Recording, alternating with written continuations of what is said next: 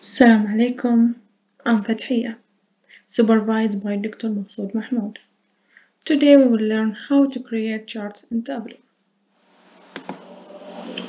Let's move to Microsoft Excel. I will select the folder of Excel.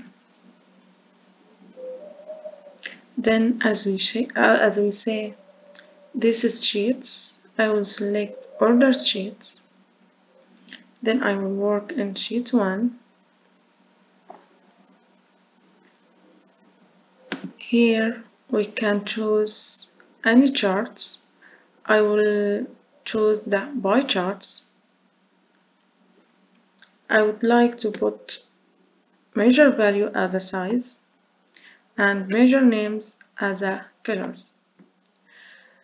As you say the chart is small I will edit it from here. The enter value so we can change this.